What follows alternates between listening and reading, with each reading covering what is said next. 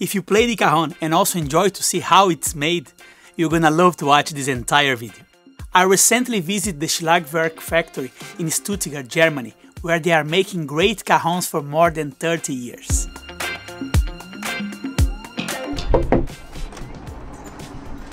Hey, Winfried. How are you doing? Good, very Good. good, thank you. Welcome to Schlagwerk. Come in. Thank you. You are about to see a cajon making process that uses a mixture of modern technology as well as traditional hand craftsmanship. After visiting other cajon factories, I was quite surprised to see how different the cajon making process can be. This is Winfried, the general manager for Schlagwerk, who is gonna show us around.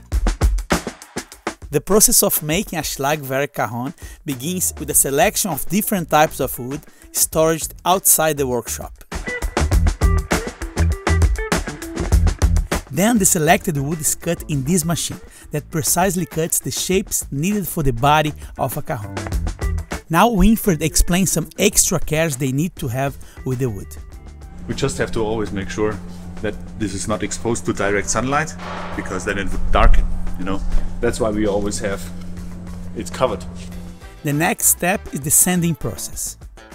After cutting, we have a first sanding process where we also uh, check what is inside, what is, what is outside. We look at the visuals of the wood and then decide this is is this inside or outside. And if it's outside, then we send.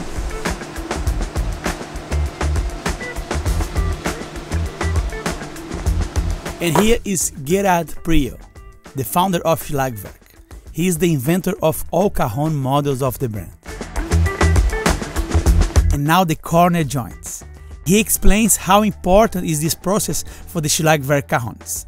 That's uh, really important how the body is bonding together.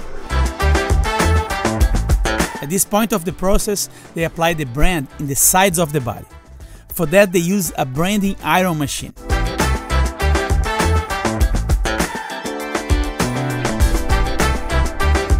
Now Winfried is gonna show the reinforcements they use for the cajon body. So this is actually reinforcement for the screws to have a lot of grip to hold the, the screw and the power of while playing. So this needs to be uh, reinforced. I have asked Winfried a common question many students ask. What is the maximum weight a cajon can handle?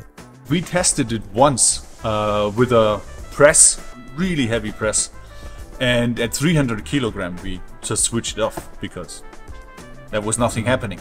Yeah. I think it would collapse at like four, 500 kilos. Continue with the reinforcements. Now Winfried show me the back plate, the reinforcements of the back plate that has this triangle shape. First of all, this material is waste. So we reuse cuttings and not throwing it away. It makes the, the back wall stiffer and that gives a little bit more punch. And now we start seeing the process of assemble the body. But before that, they first pass the four parts of the cajon in this machine to make all the parts even.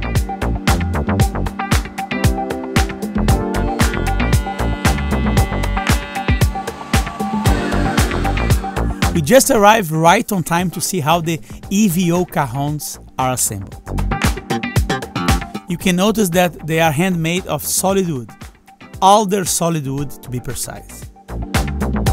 He uses only glue to put the parts together, the top, bottom and sides.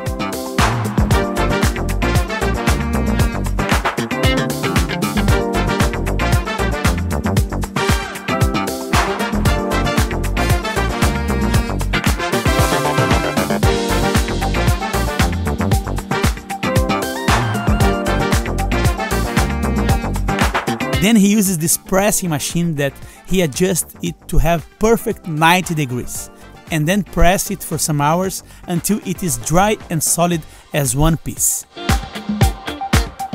Now that the body is assembled, it's time to talk about the string system Schlagwerk uses. There are four types of string system behind the top of the cajons.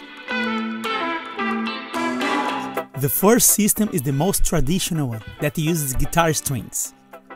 The strings used by Schlagwerk are specially made for them by a third-party manufacturer. Here we can see how the strings are placed in the model La Peru.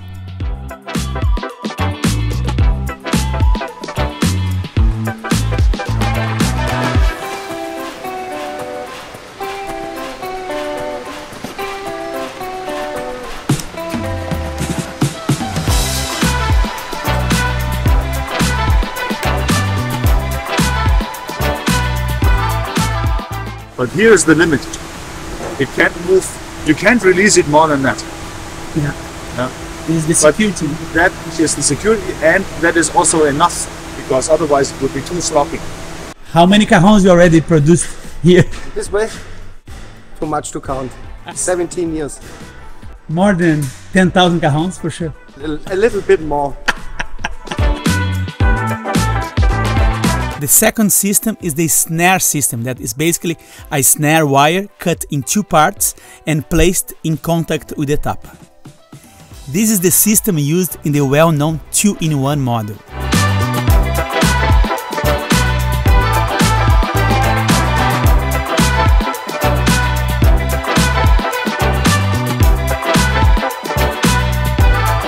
The third system uses also snare wires, but assembled as guitar strings.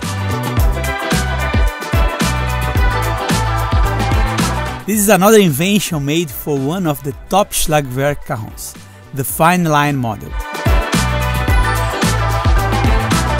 And the last and fourth system is the one seen in the model Agile, that uses snare wires combined with strings, both assembled horizontally. Just a little break to say that if you want to know more about each Schlagwerk cajon model in detail, I have included a link with all the models below in the description. Now, back to the process. Now it's time to see the front plate or tapas of Schlagwerk cajons. They use as the base for the tapa a Baltic birch 3mm stick. So this is the basic front plate. Yeah? And then we have layers of veneer and then press it in a, in a veneer press that is then laminated to the front. And there of course we do have many different veneers. So once this is done,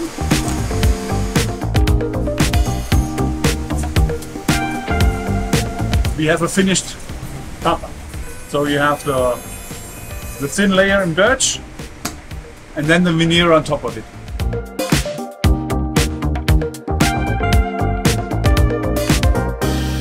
Next step is to install the back plate and the tapa, gluing it to the body.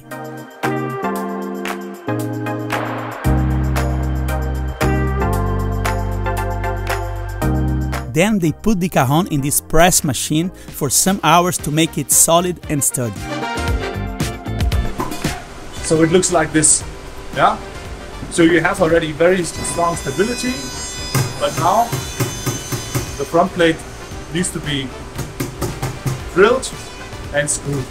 Now we are ready to go to the process that cuts and trims the corners and edges of the cajons.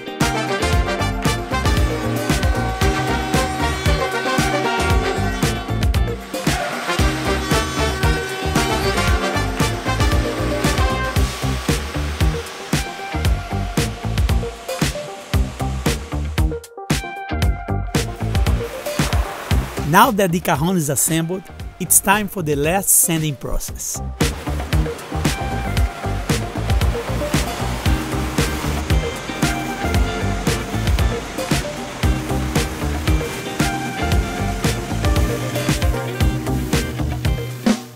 Now the cajon goes to the final inspection.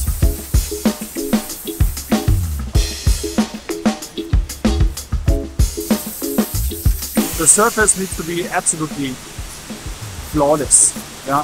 So he's checking for every bit and piece that might have a little flaw, then he can still sand, and then it goes to spray.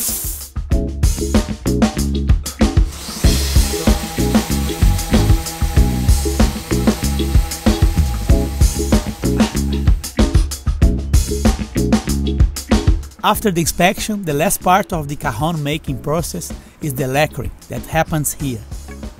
In this image you can see a different type of cajon that is called cajonito. The process is the same for all cajons of the brand.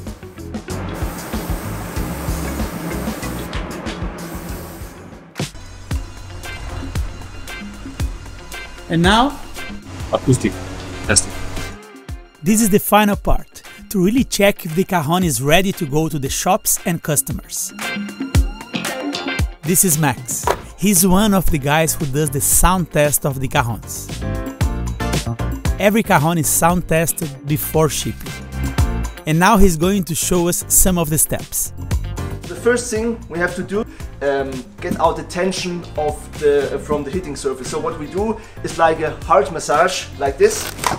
This is very important so to, to, um, that you get the tension out of it. Then he checks the tension of the screws in the front plate.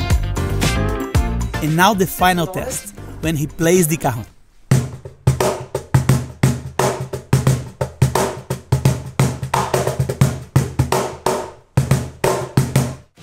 Schlagwerk has this system. Green color for the ones that will be shipped and red color for the ones that are not approved. Green ones will be packed, ready to go, and these need rework internally. So we have to fix some some things that are not not right. Only when they have a green light, they are shipped. You might be asking yourself, after all this process, we're not gonna hear some of the cajons? Of course, after meeting Max, I had to invite him to jam a little bit with me.